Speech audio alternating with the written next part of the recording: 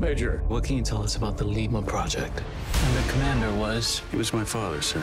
We believe your father is still alive. destino da We're counting on you to find out what's happening out there. depende de um homem. I'm ready. Ad Astra nos cinemas.